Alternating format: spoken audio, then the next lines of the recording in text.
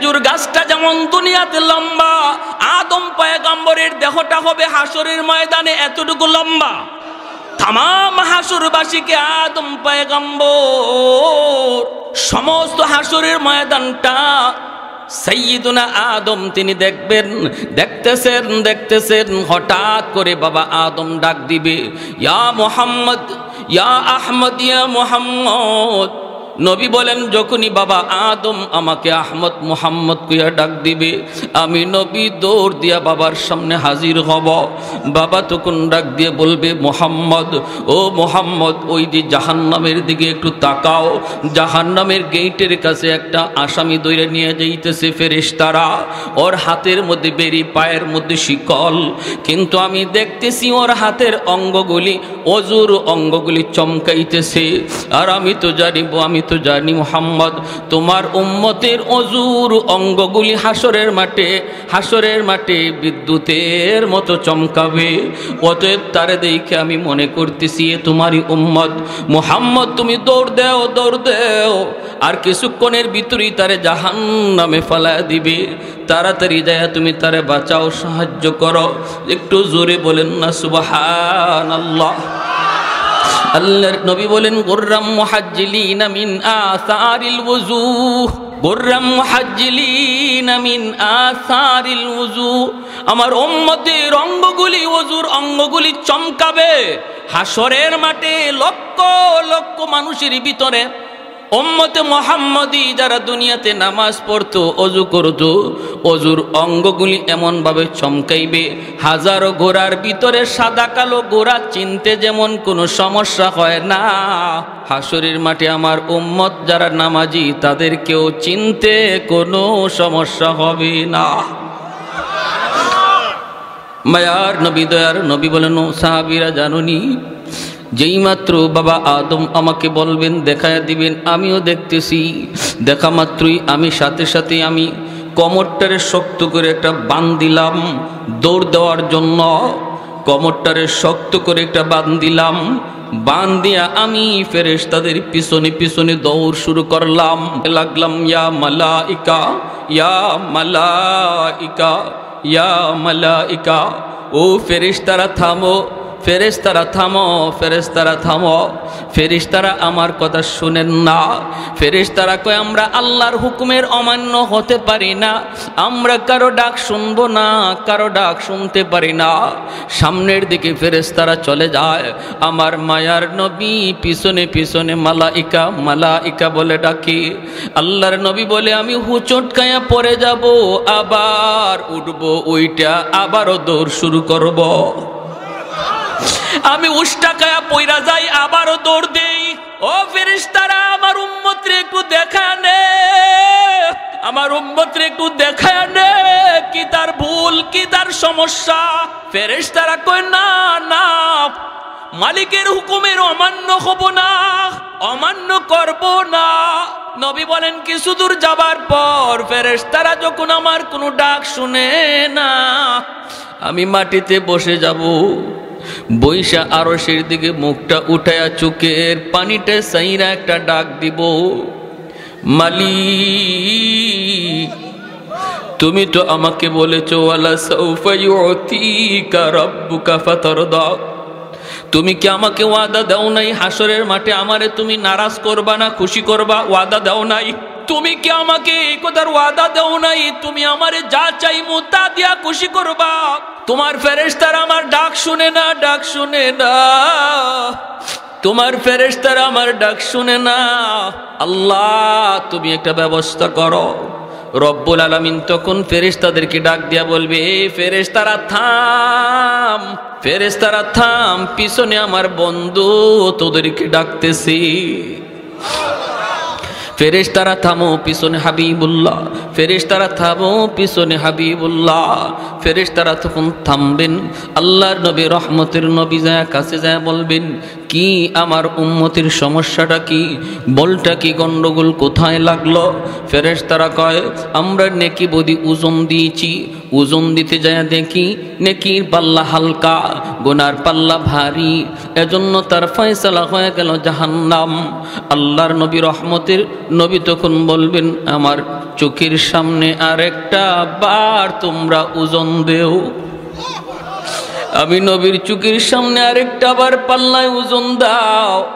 আমি একটু নিজের চোখে একটু দেখি। ফেরেস্তারা যখন নেকি আর বদি ওজন দিবে মায়ার নবী দয়ার নবী উম্মতের কালেমার কাগজ নেকির পাল্লা দিয়া দিবে।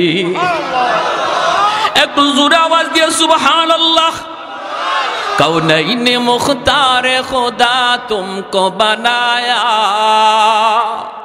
کونین مختار خدا تم کو بنایا، امت کا نگاہ بن کے خدا تم کو بنایا۔ امت کا نگاہ بن خدا تم کو بنایا۔ مولا میرا آقا، میرا رحمت کی نبی ہے۔ تجدار مدینہ تو باغ عربی ہے۔ تجدار مدینہ تو باغ عربی ہے۔ اشجار نے دیتے ہیں نبوت کے شہادات۔ تشقیق کمر میں ہے تو انگل کی اشارات۔ تشقیق کمر میں ہے تو انگل کی اشارات۔ একটু জোরে সুরে বলেন আল্লাহ আকবর। ভাইরা বন্ধুরা দিলটা একটু নরম করে শুনে যুবক। তোমাকে বলছি রে যুবক, একটু দিলটা নরম করে কথাগুলি শোনো। তোমার জন্য হাসরের ময়দানও নবী কমর বান্দা দৌড় দিব তোমাকে আটকানোর জন্য, জাহান্নাম থেকে বাঁচানোর জন্য। ফেরেশ তারা যখনই ওজন দিবে, নবী তখনই ইমানের কাগজটা নেকির পাল্লায় দেওয়া মাত্র, নেকির পাল্লা ভারী হয়ে যাবে। ফয়সালা চেঞ্জ হয়ে যাবে, সাথে সাথে দুজকের ফেরেশতারা সাথে সাথে সরে যাবে, জান্নাতের ফেরেশতারা। দেরি নাই, হাজির হয়ে যাবে। হাতের বেরি, পায়ের বেরি, টাস টাস খুলে খুলে যাবে। আর জান্নাতের দিকে ফেরেশ তাড়াতাড়ি নিয়ে যাবে। ওই অবস্থায় যুবক ডাক দিয়ে বলবি ফেরিস তারা আমার একটু পরে নাও। আগা আমার ওই মানুষটারে দেখাও যিনি আমাকে আজকে জাহান নাম থেকে বাঁচাইছে। ফেরেশ তারা একটু দেখাবে, পাশে যায় বলবে, কে গো তুমি? কে গো আপনি? আপনারই চিনলাম না। আল্লাহ নবী রহমতের নবী টাক দিয়ে বুকে উঠে নিয়ে বলবে, উম্মত মত নবীরে বুঝি চিনলি না? জোরে কোন যে নবী দুনিয়ায় থাকতেও শান্তি কামনা করি নাই, সর্বদা উম্মতের শান্তি চাইছি। যেই নবীর পিছনে উহুদ পাহাড় স্বর্ণ হইয়াত ঘোরার কথা নবী তা চান নাই। আল্লাহ নবী বলে, আমি তাও চাই না। আল্লাহ, আমি আমার উম্মতকে, আমি আমার উম্মতের শান্তি চাই, আমার উম্মতের কামিয়াবি চাই। মায়ার নবী, দয়ার নবী পরিচয় দিবেন। লোকটা আল্লাহর নবীর কদম মোবারক জরা দুইরা হাও মাও করে কানতে থাকবে। নবী তখন বলবেন, দুনিয়াতে তুমি নামাজ পড়থা মাঝে মাঝে নামাজ মিস হইতো। কিন্তু আল্লাহর মহব্বত, আমি নবীর মহব্বত, তোমার অন্তর জুড়ে ছিল রে যুবক, কলেজে পড়েছো। কিন্তু নবীর বিরুদ্ধে যদি কোনো দুশ্মন, কোনো আওয়াজ শুনেছে, আমি নবীর পক্ষে ময়দানে তুমি সবার আগে ছিলা। তুমি স্কুলে পড়েছো, কলেজে পড়েছো, এরপরও নবীর আশেক ছিলা, নবীর দুশ্মনের দাঁত ভাঙ্গা জবাব দেওয়ার জন্য প্রয়োজনীয় জীবনগুলি প্রস্তুত ছিলা। ইমানের জন্য তুমি একজন সৈনিক। তোমার ইমানের ভিতরে শিরিক ছিল না, আমলের ভিতরে বিদাত ছিল না। আমল ছিল কম, কিন্তু বিদাত মুক্ত ইমান ছিল নির্বেজাল, শিরিক মুক্ত। এজন্য আমি নবী, আজ তোমাকে তোমাকে, তোমার অজুর অঙ্গগুলি চমকানোর বদৌলতে আমি তোমার চিনে ফেলেছি এবং তোমার নাজাতের ব্যবস্থা হয়েছে জুরে কন সুবাহান এজন্য এক নাম্বার কাজ হলো ইমানটারে নির্বেজাল ইমান রাখতে হবে, আমলটারে বিদাত মুক্ত আমল বানাইতে হবে, ঠিক কিনা রে ভাই?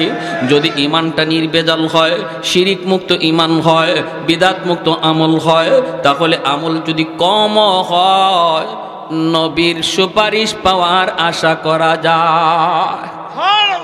আর যদি বিদাতে আচ্ছন্ন হয়ে যায়, আমার জীবনে যদি গান বাজনা পাওয়া যায়, আমার জীবনে যদি মারিফতির গান পাওয়া যায়, আমার জীবনে যদি দয়াল বাবা, কিবলা বাবার গান পাওয়া যায়, আমার জীবনে যদি আল্লাহর সাথে কাউকে শরিক করার মতো বদ আমল পাওয়া যায়, আমার জীবনে যদি আমলের সাথে বিদাত পাওয়া যায় কপালে আমি নামাজের দাগ ফেলায় দিতে পারি। হজ একবার নয়, প্রতি বৎসর করতে পারি, তবুও নবীর সাফাত মিলবে না। এজন্য মনে রাখবা মনে রাখবা আল্লাহর গোলাম। নির্বেজাল ইমান বেদাত মুক্ত আমল যদি কম হয়, আল্লাহর নবীর সুপারিশ আশা করা এজন্যই আল্লাহ পাক রব্বুল আলামিন বলেন, বন্ধু তুমি জানায় দাও আমাকে পাবার জন্য বাজারে মাজারে গোড়া লাগবে না। আমাকে পাওয়ার জন্য দয়াল বাবা কেবলা বাবার দরবারে গেলেও হবে না। আমি আল্লাহকে পাইতে হলে বন্ধু, তোমার সুন্নত মতো চলা লাগবে। চুল জটা রাখা, এটা নবীর সুন্নত। হ্যাঁ? জটা চুল দেখছেন নি আপনারা? ভাই, আপনাদের কোনো অসুবিধা হইতেছে? না, আমার উপরে খেপতেছেন আপনারা। জটা চুল, এটা কি নবীর সুন্নত? যে চুলে জটা লাগল, আর হে বাবা কয়া দাবি করল, আর আমি আপনি যাইয়া, বাবারে, যা খুশি করলাম, যা খুশি দিলাম, যা খুশি খাওয়াইলাম, বলুন এক গোসল যদি এর জীবনে ফরজ হইয়া থাকে কখনো? ওইসে তো অবশ্যই। চুল যদি জটা থাকে, তার গোসল হবে? কন? সারা জিন্দিগির লাগি না পাক। ঠিক কিনা? রাত দিন না পাক। মাসকে মাস না পাক। বছরকে বছর না পাক। সারা শরীর থেকে ফাটার মতো গন্ধ। মা বোনদেরকে বলি, মা, মনে রাইকো খেয়াল রাই করে মা। সাবধান, লাল সালু দেখলি বাবাকে ডাক দিও না। সাবধান সাবধান, দয়াল বাবা কুয়া ডাক দেওয়ার কোনো সুযোগ ইসলাম তোমাকে দেয় নাই। এটা চরম আকারের ভণ্ডামি। কেউ যদি বলেও কেউ যদি বলেও আমি বাতাসের উপর দিয়ে ঘুরতে পারি, পানির উপরে হাঁটতে পারি। আপনি বলবেন, আগে দেখেন তার মধ্যে নবীর সুন্নত আসেনি না নাই? নামাজ তার জীবনে আসেনি না নাই? হালাল, হারাম আসেনি না নাই? নারী পুরুষের পর্দার বিধান তার মধ্যে আসেনি না নাই? হে মদ গাঞ্জা থেকে দূরে আসেনি না নাই? এইগুলা যদি আপনি একশো একশো শরীয়ত পান, নবীর তরিকা পান, তবে তার ব্যাপারে আপনি চিন্তা করবেন। আর যদি তার মধ্যে শরীয়ত পাওয়া না যায়, নবীর সুন্নতের কোনো ধার ধারে না, সে বাতাসে উড়লেও আস্থা একটা ভণ্ড। আব্দুল কাদির জিলানি রহমতুল্লাহ আলাইহির কাছে এক মুরিদ কয়, হুজুর, কি পিরসা বইলেন কয়, কি? কয়, একটু আগেই দেখে আসলাম, একজন মানুষ আকাশে উঠতেছে ওস কি কেডা? কই, হিন্দু এক ব্রাহ্মণ এক ব্রাহ্মণ আকাশে উঠতেছে আব্দুল কাদের জিলানি কয়, এটা তার মেসমেরিজম। এটা তার সাধনা, আর কিছু না, এটা কেরামতি না। কেরামতি আর সাধনা এক নয়। সাধনা কখনো কেরামতির কাছে আসে না। দেখবি কই, দেখতে চাই। আব্দুল কাদের জিলানি জুতা সাইরা দিছেন, আর জুতারে বলতেছেন, তুই আকাশে উড়বি ওইরা ওই ভণ্ডরে ফিটায়া ফিটায়া জমিনে লামাইবি। কি ভাই? জুতা ছাড়ছেন বলে ওই দেখো কেরামতির পাওয়ার আর বন্ডামির পাওয়ার, একটু দেখো।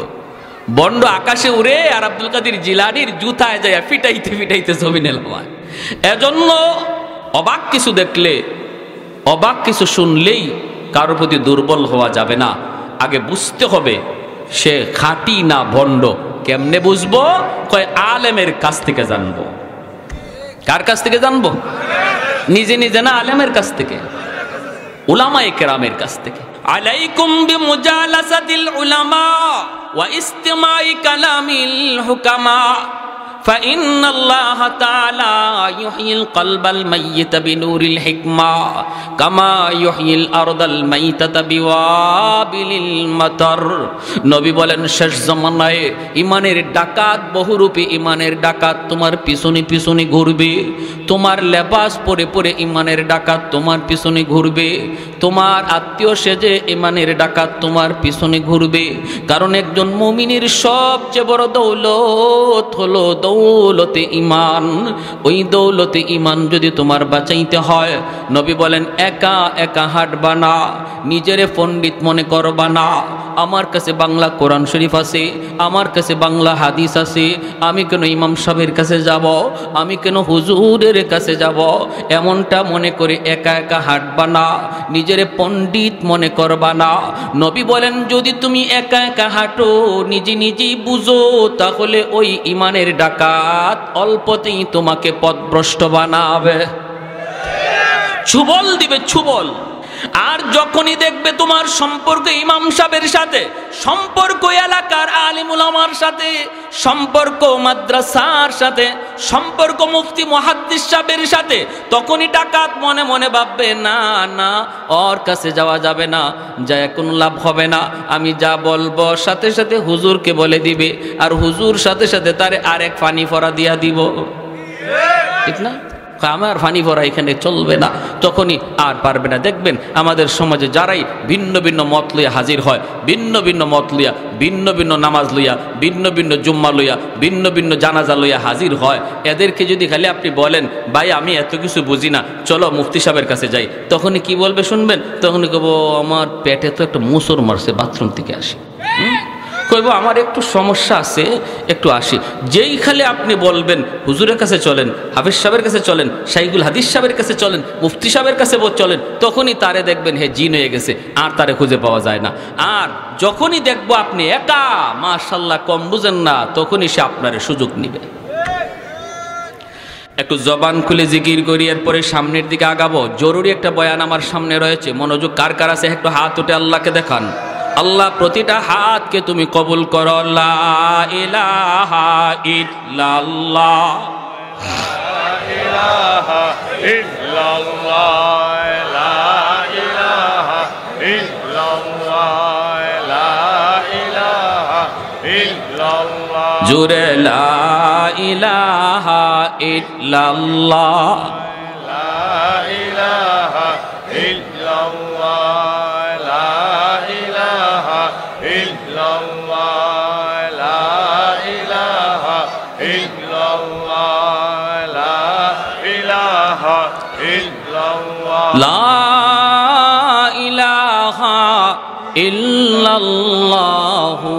মুহাম্মাদুর রাসূলুল্লাহ। একটু জোরে সুরে বলি, সাল্লাল্লাহু আলাইহি ওয়াসাল্লাম। আল্লাহ পাক বলেন, বন্ধু, আপনি জানায় দিন, যারা আমি আল্লাহকে পেতে চায়, তারা যেন আপনার অনুসরণ করে, আপনার তাবেদারি করে। যদি ওরা আপনার অনুসরণ করেই জীবনটারে চালায়, তখন আমাকে তালাশ করে বের করা লাগবে না, বরং আমি আল্লাহ তারে তালাশ করে বের করে নিব। প্রসঙ্গ চলছে মহব্বতের। আল্লাহ কথা বলছেন, ইত্তেবার। ভালো করে শুনবেন। ওলামায় কারাম যারা আছেন, তারা বুঝতেছেন। আপনারাও একটু বুঝবেন। কথাটা হলো, বন্ধু তুমি বলে দাও, তারা যদি আমি আল্লাহকে ভালোবাসতে চায়, তারা যেন তুমি নবীকে ভালোবাসে। কথাটা এমন হওয়ার কথা ছিল। কিন্তু আল্লাহ পাক এমন বলেন নাই। আল্লাহ বলছেন, তারা যেন তোমার অনুসরণ করি, তোমার তাবেদারি করে। কেন এই মহব্বতের প্রসঙ্গ আল্লাহ বাদ দিয়া ইত্তেবায় নিয়ে গেলেন? লিখেন কথা আমাদেরকে বাঁচাইছেন বাঁচাইছেন। যদি আল্লাহ বলতেন, আমি আল্লাহকে যদি ভালোবাসতে চাও আমার বন্ধুকে তোমরা ভালোবাসো। তাহলে আমাদের কোনো উপায় ছিল না, কারণ নবীকে ভালোবাসার মতো কোনো যোগ্যতাই আমাদের নাই। আল্লাহ যেন বুঝাইতে চাইলেন, না বন্ধু, না। ভালোবাসা ভালোবাসা আমার বান্দাবান্দির কাম নয়। ওদেরকে বলো, তারা যেন তোমার অনুসরণ করে। তোমাকে ভালো যা বাসার বাসবো তো আমি আল্লাহ। কারণ তোমাকে ভালোবাসার যোগ্যতা আমি আমার বান্দাবান্দিকে দেই নাই। ভালোবাসা পুরাটা রাখছি আমি আল্লাহ, আমার কুদরতি কলিজা। সুহান আল্লাহ একটু জোরে বলেন না। মহব্বত করবে নবীকে কে? আল্লাহ বলেন, ভালোবাসবো তো আমি আল্লাহ আমি আল্লাহ। ভালোবাসবো শুধু আমি আল্লাহ, কারণ আমার কাছে ভালোবাসা আছে। ও বন্ধু, তোমাকে ভালোবাসার মতো ভালোবাসা বান্দা বান্দির কাছে নাই। সুহান আল্লাহ তাদেরকে শুধু তারা তাদেরকে বলো, তারা যেন তোমার অনুসরণ করি। তুমি যেভাবে খাও, সেভাবে যেন খায়। তুমি যেইভাবে পোশাক পরেছো, তারা যেন সেই পোশাকটা পরে। তুমি যেইভাবে চেহারার নমুনা ধরেছো, তারা যেন তার চেহারাটাও এই নমুনায় বানায়। তুমি যেভাবে নামাজে পাবন্দি ছিলা, তারাও যেন এইভাবে নামাজে পাবন্দি হয়। তুমি যেভাবে পর্দা মাইনা চলছো বন্ধু, বলে দাও, তারাও যেন এইভাবে পর্দা মাইনা চলে। তুমি যেইভাবে গান বাজনা থেকে দূরে ছিলা বন্ধু বলে দাও তারাও যেন তাদের জীবনটারে গান বাজনা থেকে দূরে রাখে। যদি এইভাবে তারা চলে, চলতে যাইয়া কিছু ভুল ত্রুটি হয়ে যাবে, ভুল ত্রুটি হয়ে যাবে, আমি আল্লাহ তাদের ভুল ত্রুটিগুলা মাফ কইরা আমার রহমতের কুলে টেনে নিব। আমার পর্যন্ত আসতে পারবে না। আমি আল্লাহকে পাওয়ার জন্য আমার পর্যন্ত আসতে পারবে না। যদি তোমার অনুসরণ কইরা হাঁটা শুরু করে, আমি আগায়া গিয়া কুলে তুইলা নিব। যেইভাবে মা সন্তানকে হাঁটা শিখায়? হাঁটা শিখানোর সময় সন্তান রে মা দূর থেকে সাইরা দেয়। সাইরা দিয়া মা ডাকতে থাকে, বাবা আও বাবা আও। বাচ্চাটা মা পর্যন্ত আসতে পারবে না, মা ভালো করে জানে। বাবা ভালো করে জানে। বাচ্চাটা মায়ের পর্যন্ত হেঁটে আসতে পারবে না। এরপরও ডাক দেয়, বাচ্চাটা এক কদম, দুই কদম দিয়েই ঠাস করে মাটিতে পড়ে যায়। আ কয়া ডাক দেয়, আম্মা কয়া ডাক দেয়। তখন দুই কদম দিলে পরি বাবা দৌড় দিয়ে আম্মা দৌড় দিয়ে কুলে তুইলা কয়, বাবা, এই যে মারে তুমি ধরে ফেলছ। এই যে মারে ধরে ফেলছো, বাবারে ধরে ফেলছো, মূলত মা দৌড় দিয়ে আগায় নিছে। আল্লাহ কয়, বন্ধু, তুমি জানাও, যারা তোমার পথ দইরা, তোমার নমুনা দইরা, আমি আল্লাহকে পাওয়ার জন্য একটু হাঁটা শুরু করবে। আমার পর্যন্ত আসতে পারবে না। বাকি আমি আল্লাহ আগায়া গিয়া তারে আমার কুলে তুলে নিব। আমি যা তাকে আমার কুলে তুলে নিব ইউহবিবুকুমুল্লাহ আমি আল্লাহ তারে আমার কুলে নিব, আমি তারে ভালোবাসব। আমার পর্যন্ত আসতে পারবে না, আমি আমার কাছে নিয়ে নিব। ভাইরা সাহাবাই কেরাম রদি আল্লাহ নুহুম তারা তো কিছুটা নজির দেখায় গেছেন, কিছুটা নজির। অষ্টম হিজড়ির একটা মর্মান্তিক ঘটনা আপনাদেরকে শোনাই। আল্লাহর নবী, রহমতের নবী, বিভিন্ন রাষ্ট্রপ্রধানের কাছে তিনি দাওয়াত দিয়ে চিঠি দিতেছেন। এইভাবে নবী রুম সম্রাটের কাছেও চিঠি লিখলেন। কিন্তু হারেস ইবনে উমায়ের রাদিয়াল্লাহু তাআলা আনহু, ওনাকে ওই রুমের সম্রাটের লোকেরা ওনাকে গ্রেপ্তার করে সম্রাটের দরবারে নিয়ে ওনাকে হত্যা করল। নবীর একজন দূত, হারেস ইবনে উমায়ের রাদিয়াল্লাহু তাআলা আনহু, ওনাকে হত্যা করল, হাতগুলি কেটে দিল। পা কেটে দিল, চোখ উপড়ে ফেলল, চিঠিটা টুকরা টুকরা কইরা নিজের পায়ের তলে ফেলে দিল, অথচ এই চিঠির মধ্যে আমার নবীর নাম লেখা ছিল। নবীর নাম লেখা ছিল মিম মোহাম্মদুর রসুলিল্লাহ। মোহাম্মদুর রসুল্লাহর পক্ষ থেকে শামের প্রধানের কাছে চিঠি, ইলাজিজ শাম, সে খেপে গেল খেপে গেল। দুই দিনের মোহাম্মদ মাত্র মদিনার রাষ্ট্রনায়ক। এখনই আমার নামের আগে তার নাম, নবীর নাম তার নামের আগে এটা সহ্য করতে পারল না। সাথে সাথে চিঠিটা ছিঁড়ে নিজের পায়ের নিচে ফেলে দিল। আর নবীর সাহাবে হজরত হারিস ইবনে উমার রাদিয়াল্লাহু তাআলা আনহুকে হত্যা করল, হাত পা গুলি কেটে দিল। আল্লাহর নবী, রহমতের নবীর কাছে। এই খবর যেই মাত্র নবীর দরবারে আসলো, আমার নবী সইতে পারেন না। নবীজির চোখ থেকে দর দর করে পানি পড়ে। নবী কান্দিন আর বলেন, আমার হারেসের তো কোনো দোষ ছিল না।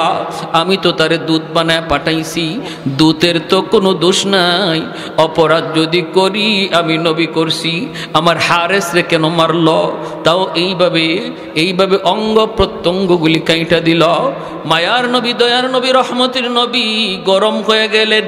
গরম হয়ে গেলেন নবীজি। সাহাবাই কেরামের সামনে নবী বায়াত নিলেন, শপথ নিলেন। আমার হারে সত্তার বিচার না নেওয়া পর্যন্ত, বদলা না নেওয়া পর্যন্ত আমরা কেউ শান্তিতে ঘুমাবো না। কারা কারা প্রস্তুত? সব সাহাবি নবীর হাতে হাত রেখে শপথ নিলেন। জুড়ে বলি, আল্লাহ আকবার। তাহলে কি বোঝা যায় ইসলামে খালি নরম না গরমও আছে? আমার নবী নরম, গরম হয়ে গেলেন। আল্লাহ বলেন, ইসলাম হলো নরমের জায়গায় নরম, গরমের জায়গায় গরম। ইসলামে শুধু নরম নাই, ইসলামে শুধু গরমও নাই, ইসলামে নরমের জায়গায় নরম, গরমের জায়গায় গরম থাকতে কয় মোহাম্মদুর রসুল্লাহ والذين معه أشداء على الكفار رحماء بينهم أشداء على الكفار বইলা আল্লাহ গরম হওয়ার কথা বলছেন রুহামা ও বাইনাহুম দ্বারা নরম হওয়ার কথা বলছেন আল্লাহ বলেন তাদের আখলাক হলো আমার নবী নবীর সাহাবীদের আখলাক হলো ওরা নিজেরা নিজেরা বড় নরম নিজেরা নিজেরা বড় নরম নিজেরা নিজেরা কোনো মারামারি নয় কাটাকাটি নয় মুসলমান মুসলমানে ভাই ভাই ভাইয়ে ভাইয়ে কোনো দ্বন্দ্ব নয়। এক ভাই ভুল বুঝে, আরেক ভাই ভুল শুধরায় দিবে। কিন্তু বিতর্ক নয়, ঝগড়া নয়, গালাগালি নয়, মারামারি নয়। মুসলমানের সম্পর্ক হলো ইমানের সম্পর্ক। ইমানের সম্পর্ক হলো রক্তের সম্পর্কের চেয়ে আরও গভীর, ঠিক কিনা ইমানের সম্পর্ক রক্তের সম্পর্কের চেয়ে আরও গভীর আরও গভীর। এজন্যই তো আবু বকর সিদ্দিক সন্তানকে বলেছিলেন। বদরের যুদ্ধে আবু বকর সিদ্দিক রাদি আল্লাহ আনহু আমার নবীর পক্ষে আর আবু বকর সিদ্দিক রাদি আল্লাহ আনহুর সন্তান আবু জাহেলের পক্ষে। বাপ বেটা দুইজন দুই দিকে যুদ্ধ করতে নামছেন। পরবর্তীতে এই সন্তান মুসলমান হয়েছেন মুসলমান হওয়ার পরে বলতেছেন, আব্বা, বদরের ময়দানে আপনি তিনবার আমার তলোয়ারের নিচে পড়ছেন। এরপরও আমি তলোয়ার চালাই নাই। আবু বকর সিদ্দিক বলে কসকি তুই? কয়বার বলে, তিনবার। কেন তুই চালালি না? কারণ আপনি আমার আব্বা। কেমন করে তলোয়ার চালাই? আবু বকর সিদ্দিক বলে, তাহলে শুন বেটা, শুন। তোরা যুদ্ধ করস দুনিয়ার কামাইয়ের জন্য, আর আমরা যুদ্ধ করি আল্লাহর সন্তুষ্টির জন্য। আমাদের কাছে আল্লাহর মহব্বত, সন্তানের মহব্বতের চেয়ে বেশি। আমি আবু বকর বলতেছি, খুদার কসম তিনবার নয়, যদি একবার আমার তলোয়ারের সামনে পড়তি বাবা, আমি দুই টুকরা করে দিতাম। কারণ আমি আমার আল্লাহকে, আমার সন্তানের চেয়ে বেশি ভালোবাসি। আমার দিনকে, ইসলামকে আমি আমার সন্তানের চেয়ে ভালোবাসি। আমি ইসলাম যতদিন মানবে, এই সন্তান ততদিন মানব। ইসলাম মানবে না, সে যদি সন্তান হয়, তারে সন্তান মানি না। বাপও হয়, বাপ মানি না। ইসলাম মানে না, যদি নেতা হয়, নেতা মানি না। আওয়াজ দিয়ে আওয়াজ দিয়ে, জোরে বলেন।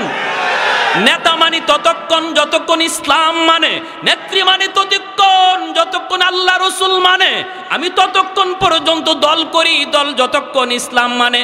যেদিন দল ইসলাম মানবে না, দল করি না। যেদিন নেতা নেত্রী ইসলাম মানবে না, আমার আল্লাহ রসুল নিয়ে কথা বলবে, নেতা নেত্রী মানি না, এর নাম হলো মুসলমান। প্যারে হাদিন এটা হলো রুল। مل إيمان يا رسول الله. إذا سرتك حسنتك وإذا ساءتك سيئتك فأنت مؤمن. নবী রুল বালায় দিলে, স্কেল, এই স্কেল দিয়ে তুমি তোমার ইমান মাপো। ইমান আছে নিনা নাই তুমি নিজে বুঝবা। ইসলামের পক্ষে কথা শুনলে যদি তোমার দিলে ভালো লাগে, বুঝবা তোমার ইমান আছে। ইসলামের বিপক্ষে কথা শুনলে যদি মনে কষ্ট লাগে, বুঝবা ইমান আছে। আর ইসলামের বিরুদ্ধে কথা শুনলে যদি তোমার কলিজায় ব্যথা না লাগে, কারণ যে বলছে সে তোমার বাপ, সে তোমার ভাই, সে তোমার বন্ধু, সে তোমার নেতা, সে তোমার নেত্রী, এজন্য তার কথায় তুমি ব্যথা পাইছো না? অথচ কথাটা আমার নবীরে হিট দিয়া কইছে আমার আল্লাহর হিট দিয়া কইছে। তারপরও তুমি তোমার অন্তরে ব্যথা লাগল না? বুঝতে হবে কপালে নামাজ পইরা তুমি দাগ ফালাইতে পারো। কিন্তু আমার নবীর স্কেল বলে তোমার ইমান নাই ইমান না। বছরে বছরে হজ করো কোনো অসুবিধা নেই। দল বড় না ইসলাম বড়? আওয়াজ আসতে কন জোরে কন কর না কেন? দল বড় না ইসলাম বড়? আমরা কেউ কি কথা বলি, আল্লাহ, আমার মরণ যেন যেই দল করি, দলের উপরে হয়? কেউ কথা কয়? বিএনপির কেউ কথা বলে, আল্লাহ, বিএনপি করতে করতে যেন মরি। আল্লাহ, আওয়ামী লীগ করতে করতে যেন আওয়ামী লীগ আওয়ামী লীগ আওয়ামী লীগ নাম লইতে লইতে যেন মরি। এই কথা কেউ বলে? কি আল্লাহ, মরণ যেন আমার ইমানের হালে হয়। ঠিক কিনা? তাহলে বোঝা গেল দল বড় না ইমান বড়? নেতা নেত্রী বলো না ইসলাম বড়। এর নাম হলো ইমান এর নাম হলো যদি এই ইমান নিয়ে তুমি যাইতে পারো রে যুবক ত্রুটি তোমার থাকলেও নবী সাফাতের জন্য রেডি এতটুকু নির্বেজাল ইমান নিয়ে যদি যাইতে পারো রে যুবক আমার নবী তোমার সাফাতের জন্য রেডি ভেজাল কিছু নিয়ে যায় না। বাইরা বন্ধুরা জন্য বলতেছিলাম ওই যে হারিস ইবনে উমায়ের রাদিয়াল্লাহু মায়ার নবী খেপে গেলেন। নরম নবী, এত নরম দিলের নবী খেপে গেলেন। নবী খেপে বলতেছেন, সাহাবিরা, হাতে হাত রেখে শপথ নাও। সব সাহাবি শপথ নিলেন।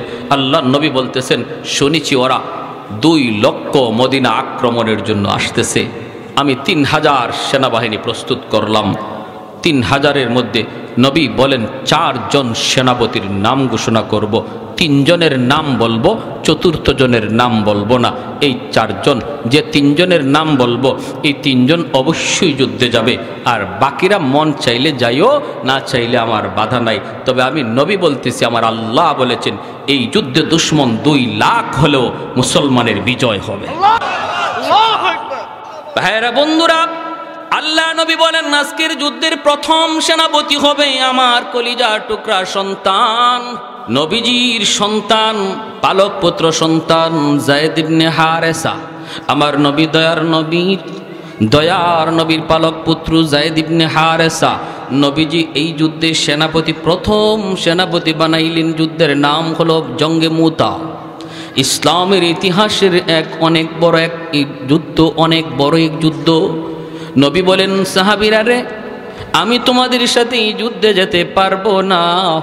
আমি মদিনায় থেকে গেলাম, কারণ বিভিন্ন রাষ্ট্রপ্রধানের কাছে চিঠি লিখছি। চিঠি লিখতে হবে, উত্তর আসবে, উত্তর দিতে হবে।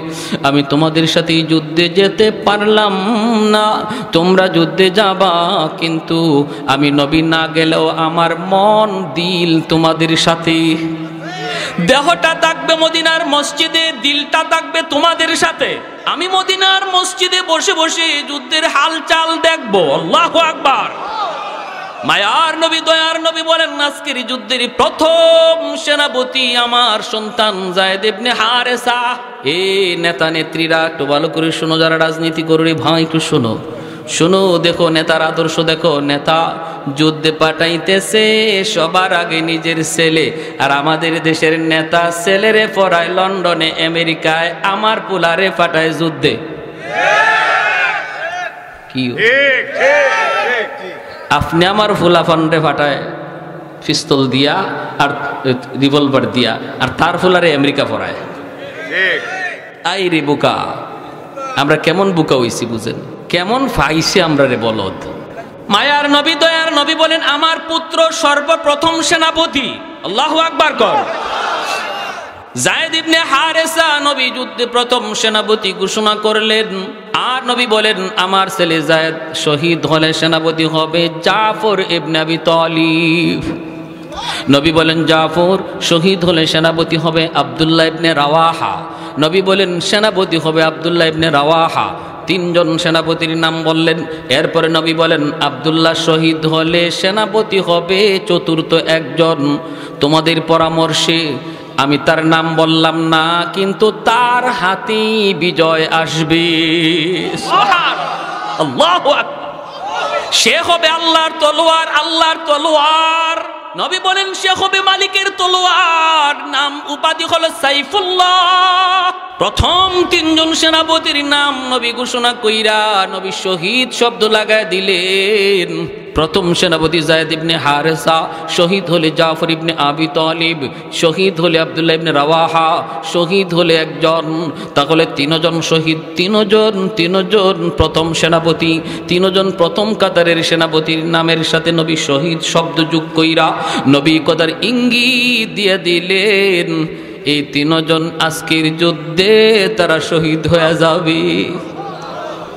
এমনকি ওই তিনজন তারা নিজেও বুঝে ফেলছেন, তারা নিজেও বুঝে ফেলছেন।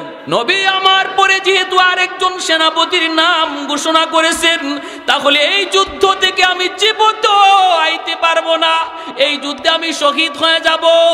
আমার পরে নবী আরেকজন আরেকজন সেনাপতির নাম ঘোষণা করেছেন। যার পরে আরেকজন সেনাপতির নাম ঘোষণা করেছেন। তিনি বুঝে গেছেন, এই যুদ্ধে তিনি শহীদ হয়ে যাবেন, শহীদ হয়ে যাবেন। এরপরে মায়ার নবী দয়ার নবী বলতেছেন যাও পরিবারের কাছ থেকে বিদায় নিয়ে আসো বিদায় নিয়ে আসো আমার নবী রহমতের নবী মায়ার নবীও জানেন আজকের যুদ্ধে তার কলিজার টুকরা সন্তান জায়দ ইবনে হারেসাকেও নবী চিরদিনের জন্য হারাইবে। জায়দ ইবনে হারেসা কার কাছ থেকে বিদায় নিবে? কেউ তো নাই, মদিনায় কেউ নাই। জায়েদ ইবনে হারেসার মদিনায় আপন বলতে কেউ নাই। আছেন শুধু আমার মায়ার নবী আর একটা ছেলে। যেই ছেলের নাম হলো উসামা। বয়স হলো মাত্র তেরো বৎসর। জায়েদ ইবনে হারেসার বাড়ি তো মক্কা মদিনা নয়। বাড়ি তো হলো ইয়ামিন। অতএব তার আত্মীয় স্বজন মক্কা মদিনায় কেউ ছিল না, বাপ মা কেউ মক্কা মদিনায় না। জায়দিবনে হারেসার বয়স যখন দশ বছর, তখন তিনি ইয়ামেনে মার সাথে নানার বাড়িতে যাইতেছেন। ওই অবস্থায় রাস্তায় ডাকাত দলের হাতে তারা হামলার শিকার হলেন। ডাকাতেরা হামলা করে যা ছিল নিয়ে গেল, আর জায়দিবনে হারেসা ছোট্ট বালকটারও তারা কিডন্যাপ করল।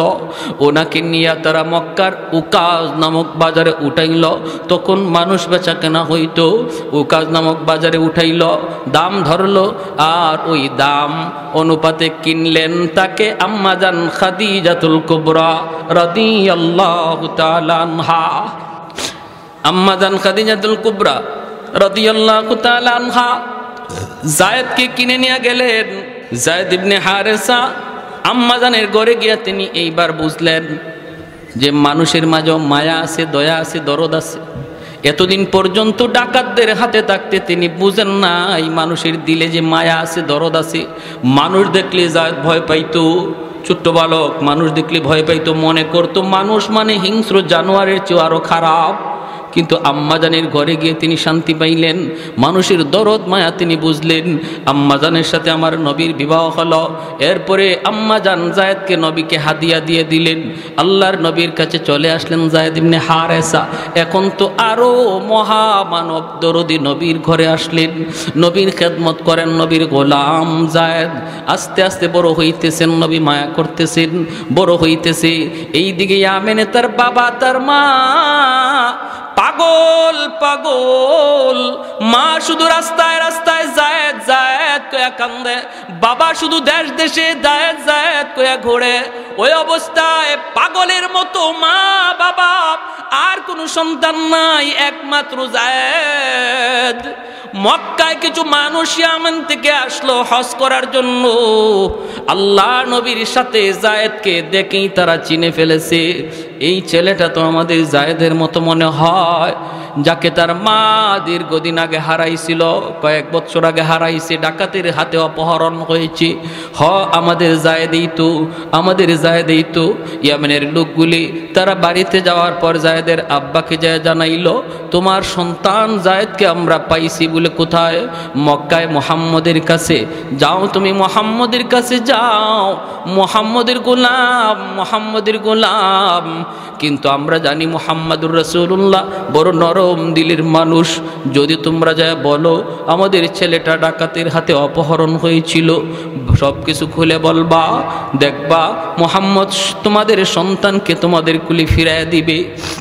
জায়দের বাবা, জায়দের চাচাকে লইয়া মক্কায় হাজির। আমার নবী মায়ার নবী, দয়ার নবীর ঘরে হাজির। আল্লাহ নবীর কাছে আইসা পরিচয় দিলেন। আমরা এই আমেন থেকে এসেছি। কেন কই শুনেছি আপনার কাছে একটা ছেলে আছে, আপনার গোলাপ নাম হলো জায়েদ। মায়ার নবী বলেন, হ, জায়েদ তো আমার গোলাম, তো কি হয়েছে কন? তখনই জায়েদের বাবার চোখ থেকে টলটলায় পানি পড়ে। কারণ যেই বাবার সন্তান হারাইছে, সে জানে সন্তান হারানোর ব্যথা কত কষ্টের। যেই মার সন্তান হারাইছে, সেই মা জানে সন্তান হারানোর ব্যথা কত কষ্টের। মরে যাওয়াটা এত কষ্ট নয়, হারায়া যাওয়া যত কষ্ট। মরে যাওয়াটা এত কষ্টের নয়, হারায়া যাওয়া যত কষ্টের। কারণ সর্বদা সর্বক্ষণ মার অন্তরে শুধু জ্বালা। হাই রে আমার ছেলেটা, আমার মেয়েটা, কোন কোথায় আছে, কোন জায়গায় আছে? কোন অবস্থা আছে, কি করতেছি? ভাইরা বন্ধুরা, জায়দের আব্বা যখন হাও মাও করে কান্দা দিছে আর বলতেছে, নবী গো জায়দ আমার সন্তান, একমাত্র সন্তান, হারাইছি। ডাকাতের হাতে অপহরণ হয়েছিল। এরপরে মা পাগল, আমি বাবা পাগল। এখন শুধু রাস্তায় রাস্তায় ঘুরি। খবর পাইলাম আপনার কাছে। চলে আসলাম এই যে অনেকগুলি হাতি আনছি, অনেকগুলা স্বর্ণ মুদ্রা নিয়ে আসছি। আমার সন্তানটারে ফিরায় দেন। মার কোলে সন্তানটারে ফিরায় দিন। লাগে আপনি পয়সা নেন। আল্লাহর নবী তখন বলতেছেন, একটু থামুন, পয়সা লাগবে না, পয়সা লাগবে না। নবী বলেন, আমি নবী এতি আমি নবী বাবা পাই নাই বাবার আদর কেমন, আমি নবী তা জানি না। আব্বু ডাকে, কত মজা, আমি নবী জানি না। অতএব আমাকে পয়সা দেওয়া লাগবে না। আপনি একটু অপেক্ষা করুন, নবী ডাক দিলেন, পাশের রুমি জায়েদ এই দিকে আস। জায়েদ ইবনে হারেসা তিনি আসলেন। ঘরে ডুইকেই তিনি দেখেন দুইটা মানুষ বসা। চেহারাটার দিকে তাকাইয়ে চিনে ফেললেন জায়েদ আমার হারানো বাবা। বাবাও চিনে ফেলেছে, হারানো সন্তান জায়েদ দৌড় দিয়া বাবা সন্তানের বুকে জড়ায় দুইরা কান্দে। ছেলে বাবাকে দুইরা কান্দে, বাবা ছেলেকে জড়ায় দুইরা কান্দে। ভাইরে, কারও চুকে এমন নাই যে ওই সময় কেউ কাঁদে নাই। নবী কান্দতেছেন জায়দের চাচা কান্দতেছে বাবা কান্দে ছেলে কান্দে আল্লাহর নবী রহমতের নবী তখন বলতেছেন, জায়েদ, তুমি চিনছো ওনারা কারা? জায়েদ কো নবী কো চিনে ফেলেছি, আমার আব্বা, আমার চাচা। আল্লাহর নবী বলেন, জাহিদ, তোমার আব্বু আসছে তোমাকে নিয়ে যাওয়ার জন্য। তোমার মা তোমার জন্য পাগল পাড়া হয়ে রাস্তায় রাস্তায় ঘুরে, তুমি চলে যাও বাবার সাথে। ও জায়েদ যদি বাবার সাথে যেতে চাও, মায়ের কাছে ফিরত যাইতে চাও, যেতে পারবা। আর যদি আমি নবীর কাছে থাকতে চাও, আমি তোমাকে দূরে সরায়া দিব না। আমি নবীর কাছে যদি থাকতে চাও, আমি তোমাকে আগলে রাখব। যদি বাপ মার কাছে যাইতে চাও, যেতে পারো। অপশন দুটা আল্লাহর নবী দিয়া দিলেন। এইবার যায় দেবনে হারেসা সিদ্ধান্ত নিবেন, বাপ মার কাছে যাবেন না, নবীর কাছে থাকবেন। মাথাটা নিচের দিকে দিয়া দিছেন। জায়দের বাবা তাকায় তাকায় কানতেছে কিছুক্ষণ বাবার দিকে তাকায় মাথাটা নিচু করে ফেললেন। এরপরে আমার দয়ার নবীর চেহারার দিকে তাকাইছেন, আর চোখ ফিরান না।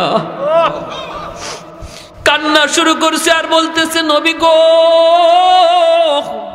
আজ থেকে দশ বছর আগে আমি হারাইছি, বাবা হারাইছি, মা হারাইছি। ডাকাতদের হাতে থাকতে আমি বুঝতাম না, মানুষ এত মায়াশীল হয়, মানুষের দিলে এত দরদ, এত মায়া। কিন্তু আপনার কাছে আসার পর আমি মার আদর, বাবার আদর, দুনু আদর আপনার কাছে পাইছি। আমার বাবার আদর, মায়ের আদর দুটা পাইছি গো নবী। অতএব আমি জায়েদ সিদ্ধান্ত নিয়েছি, বাকি জীবন আমি আপনার কদমে থাকতে চাই। আমি আপনার কদমে থাকতে চাই, আপনার কাছে থাকতে চাই। আল্লাহ নবীর সাথে সাথে জায়েদকে বুকে জড়ায় নিলেন, কারণ আমার নবীর মনের ইচ্ছাও ছিল এটা। নবী বুকে জড়ায় নিলেন আর বলতেছেন, চলো কয়া নবী, টান দিয়া মসজিদ ঘর থেকে বের হইয়া এক দৌড়ে নবী সাফা পাহাড়ের উপরে এসে উঠলেন। ওইটা নবী আরবের মানুষকে মক্কার মানুষকে নাইকে বলেন? এরে মক্কার মানুষ, দেখো, শুনো শুনো, এতদিন পর্যন্ত তোমরা জানতা জায়দ আমার গোলাম। আজ তোমাদেরকে সাক্ষী রেখে বললাম, জায়দ আজকে থেকে আজাদ। এতদিন পর্যন্ত তোমরা জানতা জায়দ আমার গোলাম। আজ থেকে জায়দ শুধু গোলাম নয় যেই জায়দ মা পাইয়া বাবা পাইয়াও বাপ মার কাছে যায় না। আমি নবীর কাছে থাকে আজ থেকে জায়দ হলো আমার সন্তান। আর একটু জোরে সুবাহান আল্লাহ کونین مختار خدا تم کو بنایا، امت کا نگابان خدا تم کو بنایا۔ تکبیر میں کلمہ میں، نمازوں میں، یزا میں، ہے نام الہی سے ملا نام محمد۔ ہے نام الہی سے ملا نام محمد۔ محبوب نے کہا، صلی علی نام محمد۔ آقو کی ضیا دل کی جلا نام محمد۔ آقو کی ضیا دل کی جلا نام محمد۔ فرماتی ہی آدم کو مجھے خلد تری میں لکھا ہوا تو باب ملا نام محمد لکھا ہوا تو باب ملا نام محمد ایک تو زور شور اللہ ওই জায়দ ইবনে হারেসাকে মায়ার নবী যুদ্ধের প্রথম সেনাপতি বানাইলেন কোন যুদ্ধের প্রথম সেনাপতি বানাইলেন ভাইরা আমার এরপরে হইল কি নবী বলতেছেন দ্বিতীয় নম্বর জায়দ ইবনে হারেসা নবীর কাছ থেকে বিদায় নিলেন। নবীজির কাছ থেকে বিদায় নিয়ে এইবার আল্লাহর নবীর কাছ থেকে বিদায় নিয়ে ছেলের উসামার কাছে গেলেন। যাইয়া উসামার কাছে যায়া বলতেছেন, তেরো বৎসরের বালক উসামা, ডাক দেয়া বলতেছেন, বাবা, এই দুনিয়ায় তুমি সারা আর নবী সারা কেউ নাই। নবীর কাছ থেকে বিদায় নিয়েছি, বাবা, তুমি বাবাকে বিদায় দাও। তেরো বছরের বালকের কাছ থেকে তিনি বিদায় নিতেছেন। উসামা কানতেছেন আর বাবা বলতেছে, বাবারে, যদি কোনোদিন বাবার কথা ইয়াদ হয়, শামের রাস্তার আশেপাশে বাবার কবর খুঁজে নিও। সাহাবাই কেরাম কীভাবে নিজের কবরগুলা কোথায় বানাইছেন? সোয়া লক্ষ সাহাবি, বিদায় খোঁজের বাসন অথচ দশ হাজার সাহাবির দশ হাজার সাহাবির কবর মক্কা মদিনায় পাওয়া যায়। এক লক্ষের উপরে সাহাবাই কেরামের কবর নিজের দেশে নাই, পৃথিবীর দিক দিগন্তে পড়ে আছে। বাইরা বন্ধুরা, ছেলেকে বাবা বলতেছে, বাবা, ছোট্ট ছেলেকে বলতেছে, বাবা, কোনোদিন যদি বাবার কথা ইয়াদ হয় সামের রাস্তার আশেপাশে বাবার কবর খুঁজে নিও। কারণ বাবা জানে এই যুদ্ধ থেকে বাবা জীবিত ফিরবে না, কারণ নামের শেষে নবী শহীদ শব্দ লাগায় দিছে। জাফর ইবনে আবি তালিব বিদায় নিতে বাড়িতে গেলেন যা দেখেন বিবি কোরআন তিলাওয়াত করেন। ছোট্ট দুইটা বালক, মোহাম্মদ আব্দুল্লাহ, চার বছর, ছয় বছরের দুইটা বালক। মার পাশে বসে বসে নিরিবিলি মার কোরআন তেলাওয়াত শুনতেছে। জাফর ইবনে আবি তালিব পাশে যায় দাঁড়ায় বলতেছে, বিবি গো, একটু সময়ের জন্য কোরআন তেলাওয়াত বন্ধ করো গো বিবি। বিবি বন্ধ করছে। এরপরে তিনি বলেন, বিবি, নবী আমাকে আজকের যুদ্ধের দুই নম্বর সেনাপতি ঘোষণা করেছেন। বিবি গো, বিদায় দাও। হয়তো আর কোনোদিন দেখা হবে না। আল্লাহর তৈরি জান্নাতে তোমার সাথে আল্লাহ সাক্ষাৎ করাবে। ও বিবি, আমি শহীদ হয়ে গেলে আমার দুইটি এতিম বাচ্চারে লালন পালন কইর। আমার দুইটি এতিম বাচ্চা তোমার আমানতে দিয়ে গেলাম, তাদের লালন পালন কইর। তখনই বিবি বুঝে গেছে, বিবি কয়, স্বামী গ, যুদ্ধে যাইতেছো, যাও। কিন্তু আমি নবীর জবানে শুনেছি, যুদ্ধে যাওয়ার আগে দোয়া করলে আল্লাহর দরবারে দোয়া কবুল হয়। আমি একটু দোয়া করব। তুমি শুধু আমার সাথে আমিন আমিন বলবা। জাফর আবি তালিব বলে, ঠিক আছে, তুমি মুনাজাত করো। বিবি হাত উঠাইছেন মুনাজাতের জন্য।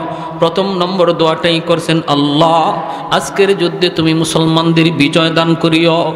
জাফর আবি তালিব বলেন, আমিন। বিবি সাহ দোয়া করে, স্বামী, আমিন বলে। সুবহানাল্লাহ, জোরে কন। এ মুসলমানের ঘর কীভাবে সাজাইবা একটু খেয়াল করো রে যুবক।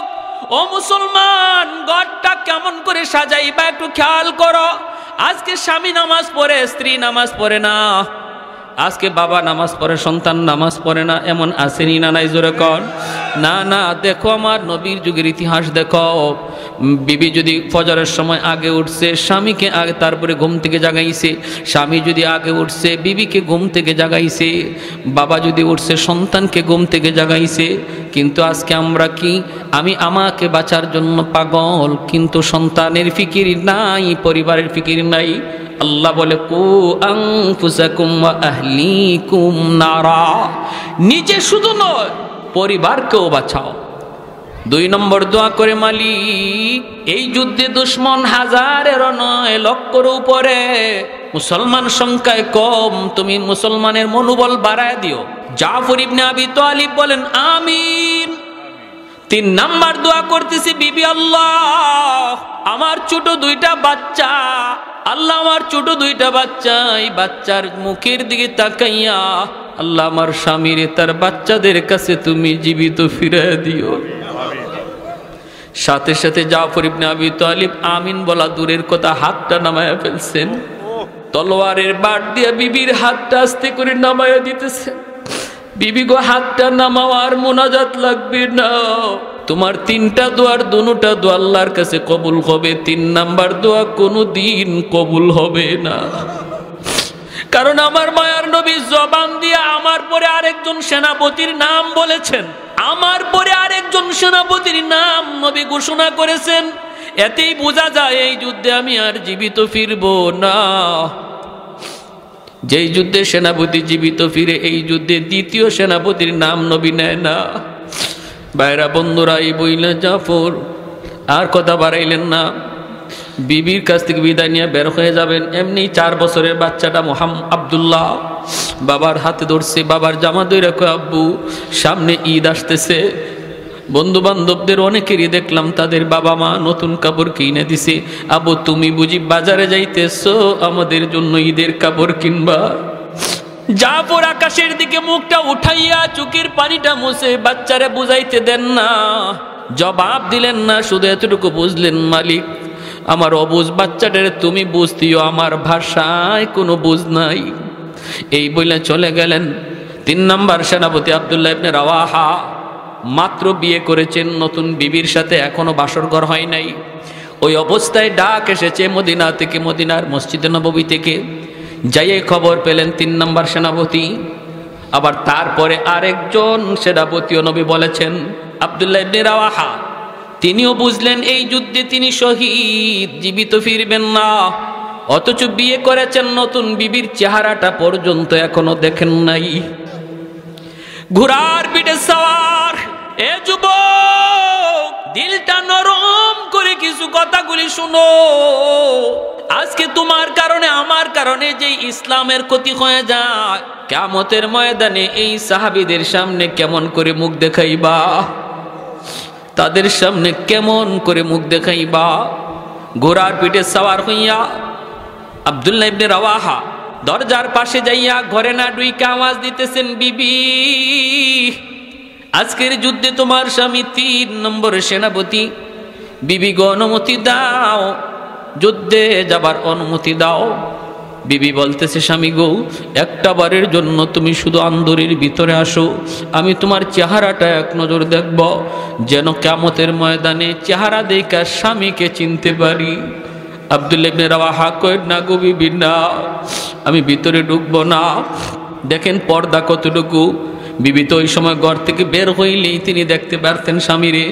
কিন্তু পর্দা লঙ্ঘন হবে বিদায়। আন্দুরির ভিতর থেকে বের হয় নাই। আমার এই এলাকার মা বোনের একটু দিলটা নরম করে কথাগুলি শোনো। কথাগুলি শুনো, নবীর যুগের মহিলাদের ভিতরে পর্দার কি পরিমাণ গুরুত্ব ছিল? আবদুল্লাহ রাওয়াহা না না। আমি ঘরে ঢুকবো না গো বিবি। তোমার চেহারা যদি আমি দেখি, আমি শুনেছি তুমি মদিনার সবচেয়ে সুন্দরী নারী। আরবের ভিতরে তুমি অনেক সুন্দরী। তোমার চেহারাটা যদি আমি দেখি, যুদ্ধের ময়দানে তোমার মায়াবী চেহারা আমার চোখের সামনে বেসে উঠতে পারে। যদি চেহারা বেসে উঠে, যুদ্ধ করতে আমার ব্যাঘাত ঘটবে। না গো বিবি, আমি দেখতে পারলাম না। কেমতের ময়দানে আল্লাহ তোমার আমার পরিচয় করা দিব। জান্নাতে পরিচয় হবে পরিচয়। এই বইলে তিনি রানা দিয়ে দিলেন, বাইরা যুদ্ধে চলে গেলেন। তিনজন সেনাপতি এই দিকে আমার নবী, মসজিদে নবমীতে মায়ার নবী। তিনি তো মসজিদে নবমীতে বসে যুদ্ধের হালচাল দেখতেছেন। টিভির পর্দার মতো আল্লাহ যুদ্ধের চিত্রটা নবীর সামনে তুলে ধরেছেন। যেরকম সুবাহান আল্লাহ নবী কান্দেন আর বলেন, আমার জামার জায়দ ইবনে হারেসা শহীদ হয়ে গেছে। আমার জায়েদ শহীদ হয়ে গেছে। সেনাপতি আর জাফর ইবনে আবি তালিব, জাফর ইবনে আবি তালিব নবী বলেন, আমার জাফর শহীদ হয়ে গেছে। দুশ্মন তার ডান হাত কেটে ফেলেছে, বাম হাতে পতাকা ধরে রাখছেন, বাম হাতটাও দুশ্মন কেটে ফেলেছে। এরপরও তিনি পতাকা ফালান না। দুনো হাতের বাজু দিয়ে এইভাবে পতাকা ধরে রাখছেন। তিন নম্বর সেনাপতি আবদুল্লাহ ইবনে রাওয়াহা, তিনি আসছেন, জোর করেন, পতাকা তিনি ছাড়েন না, অথচ যান নাই। পতাকা এমন ধরছেন, ছাড়েন না। কোন রেবায়তে আসছে কামর মাইরা পতাকা ধরে রাখছেন। আবদুল্লাহ ইবনে রাওয়াহা পতাকা টানতেছেন, কামড় তো সারে না। এবার তিনি বলতেছেন, জাফর, পতাকা অন্য কেউ টানে না। পতাকা টানতেছে আমি আবদুল্লাহ, যার নাম নবী, তোমার পরে সেনাপতি ঘোষণা করছে। বলা মাত্রই কামড়টা ছেড়ে দিয়েছেন, পতাকা হাতে নিছেন, যুদ্ধ করে করে শহীদ হয়ে গেলেন। চতুর্থ নম্বর সেনাপতি হলেন খালিদ বিন ওয়ালিদ, যার উপাধি হল সাইফুল্লাহ। সুবহান আল্লাহ জুড়ে বলেন। সেই খালিদ বিন ওয়ালিদের হাতে ইসলামের বিজয় আসলো। কীভাবে আসলো? কম কথা শেষ করে দিব। শুধু একটা আবদার আপনাদের কাছে। এতটুকু ত্যাগ, এতটুকু কোরবানি যে সাহাবা একরাম দিনের জন্য করছেন, আমাদেরও কিছু কোরবানির যদি সময় আসে, প্রয়োজন পড়ে, কারা কারা প্রস্তুত আছে? আল্লাহ, তুমি প্রতিটা হাতকে কবুল করে একটা নারায় লাগান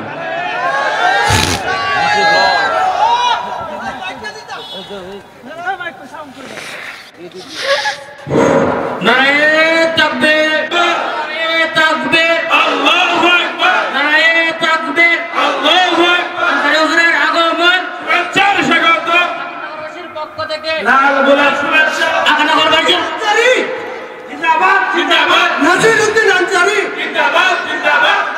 নারায়ে তাকবীর আলহামদুলিল্লাহ আমার ভাইরা ভালো করে শুনেন। রাখেন। আমি বলতেছি শুনেন ভালো করে শুনেন। ইসলামের জন্য দিনের জন্য সাহাবাই কেরামের যে কোরবানির ইতিহাস আমরা শুনলাম দিলের মধ্যে চোট লাগছে নি না লাগছে না? ভাইয়ের আমার আজ আমাদের কারও অবহেলার কারণে যদি ইসলামের কোনো ক্ষতি হয় সে জাফর ইবনে আবি তালিব আবদুল্লাহ ইবনে রাওয়াহা হারেস জায়দ ইবনে হারেসার সামনে কামতের ময়দানে আমাকে জবাব দেওয়া লাগবে। ঠিক কিনা জোরে বলেন। জবাব দেওয়া লাগবে। উলামায়ে কেরাম কখনো খামোখাই রাগ করে না, গুসা করে না। উলামায়ে কেরাম কখনো অযথাই ময়দানে নামে না। উলামায়ে কেরাম নবীর হাদিস পড়ানোতে নিয়ে আসছে। উলামায়ে কেরাম দিনের কাজে ব্যস্ত আছে। উলামায়ে কেরাম দিন নিয়ে ব্যস্ত। কিন্তু যদি কখনো উলামায়ে কেরাম ময়দানে নামে, বুঝতে হবে এটা সবার ইমানি দায়িত্ব। আরে হাজিরিন, আমরা বলি, তোমরা তোমাদের দায়িত্ব চালাও, তোমরা তোমাদের পদে আসো, আমাদের কোনো মাথা ব্যথা নাই। তুমি মেজর, মেজরগিরি করো। তুমি ডাক্তার, ডাক্তারি করো। তুমি ইঞ্জিনিয়ার, ইঞ্জিনিয়ারি করো। তোমাদের বিষয় নিয়ে আমাদের কোনো মাথা ব্যথা নাই। কোনো আলেম মেজরের সাথে টক্কর দিতে যায়ও না। কোনো ডাক্তারের সাথে কোনো আলেম ডাক্তারি বিদ্যা নিয়ে তর্কতে যায়ও না। কোনো ইঞ্জিনিয়ারের সাথে কোনো আলেম টক্করে যায়ও না। তুমি কেন আলেমদের সাথে টক্কর দিতে আসো?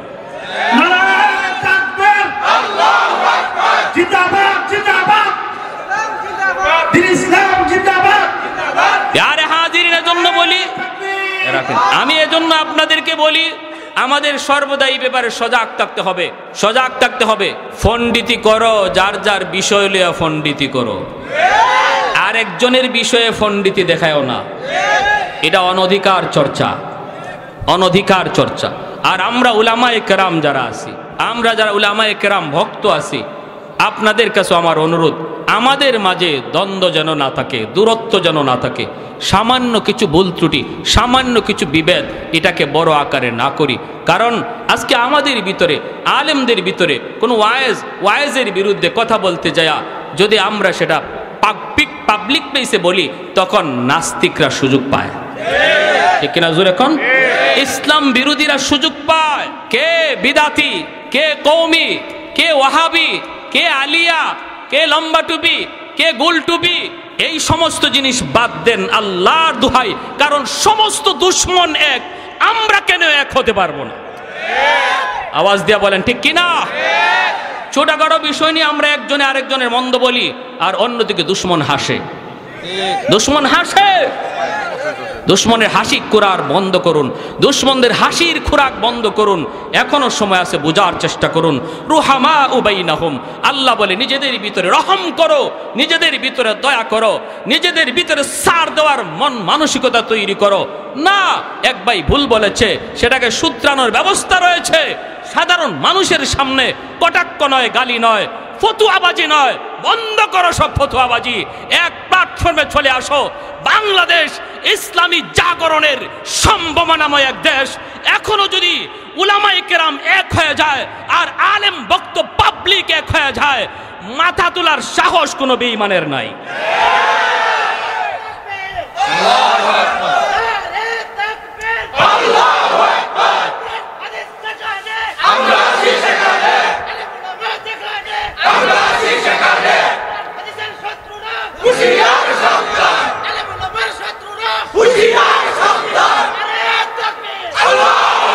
মাশাল্লাহ আমার ভাইয়েরা বন্ধুরা এই মসজিদের জন্য আমি আপনাদের কাছে একটু কোরবানি এরপরে ঘটনাটা শেষ করে মোনাজাত দিয়ে দিব ইনশাআল্লাহ। মসজিদের জন্য কিছু চাওয়া হয়েছে আল্লাহর ঘর মসজিদের জন্য। আর হবে না এখন। বলেন মসজিদের জন্য কি কি কি কি লাগবে এটা কোন?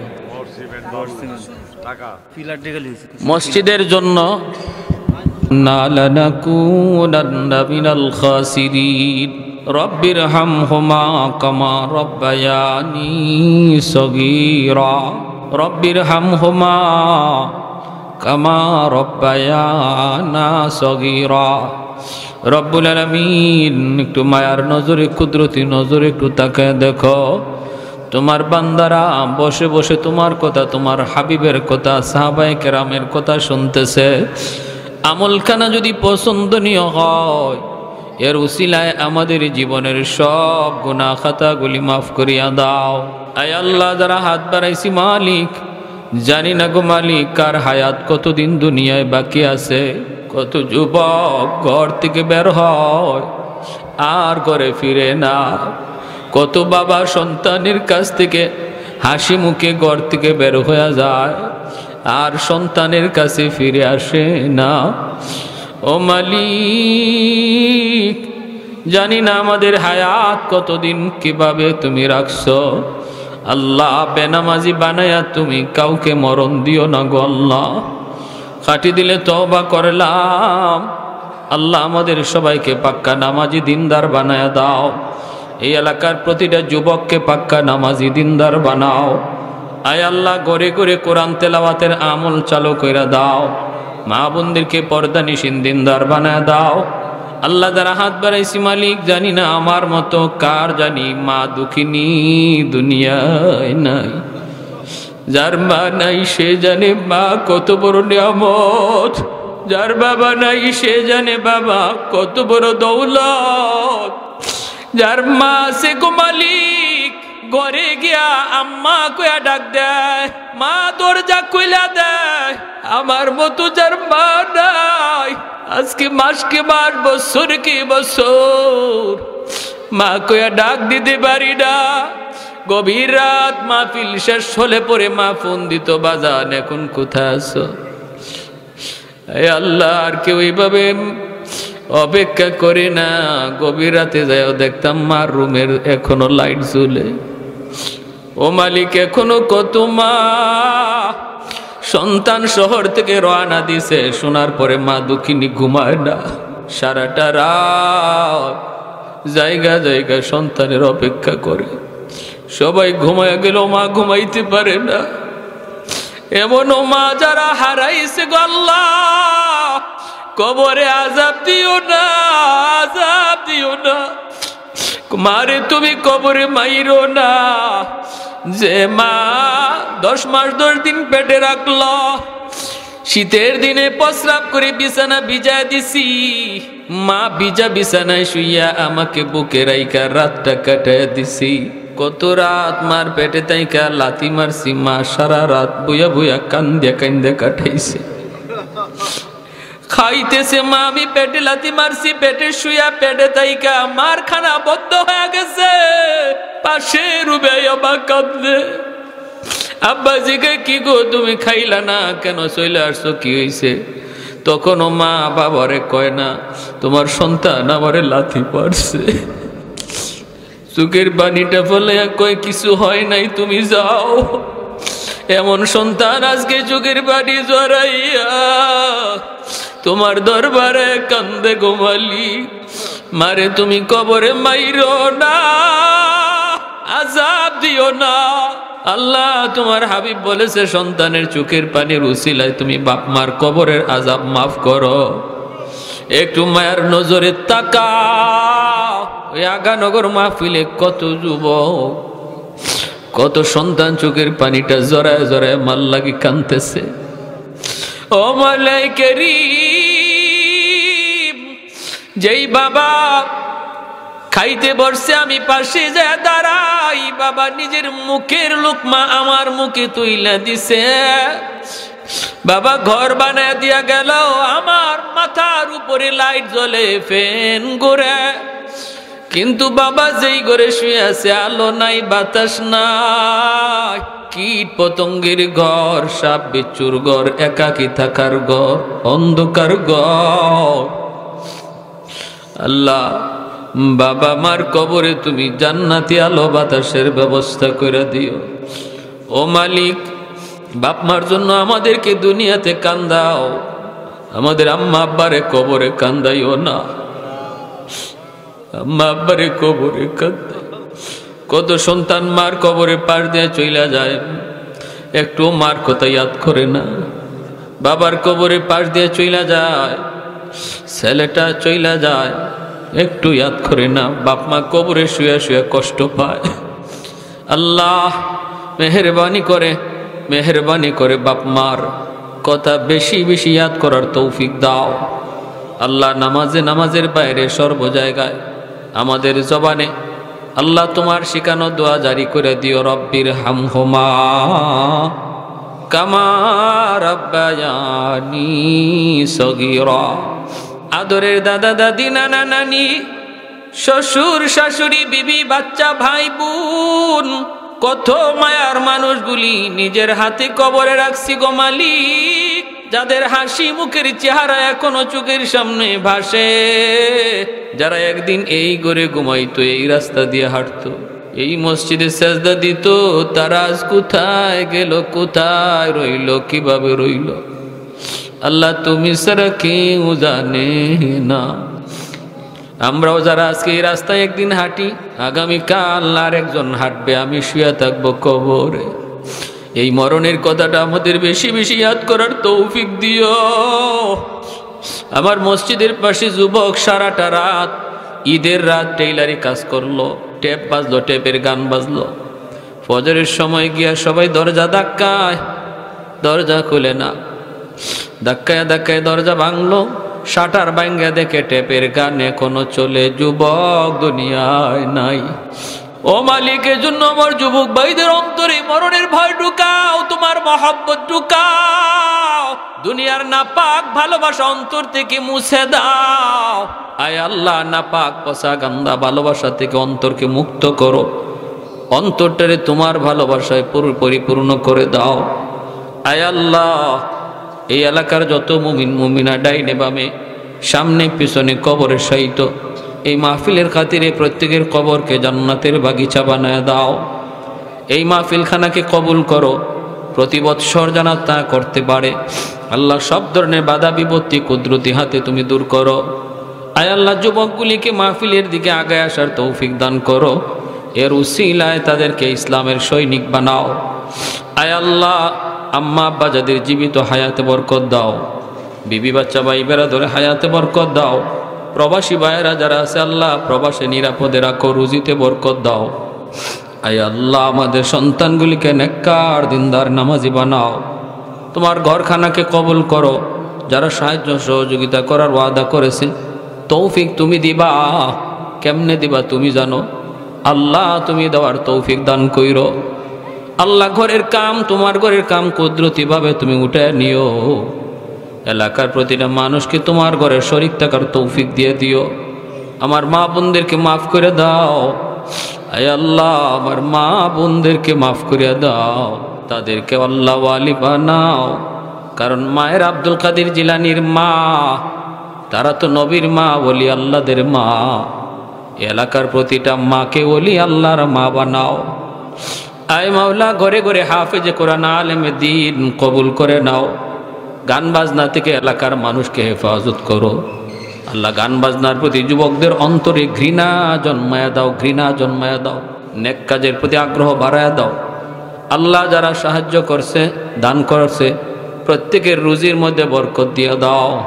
অসুস্থ যারা আছে, আল্লাহ তুমি সুস্থতার নিয়ামত দিও।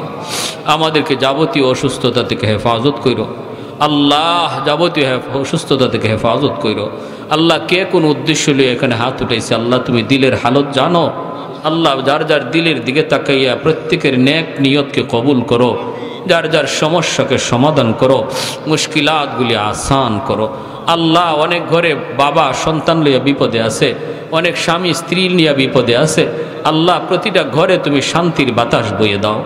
অশান্তি দূর করে দাও।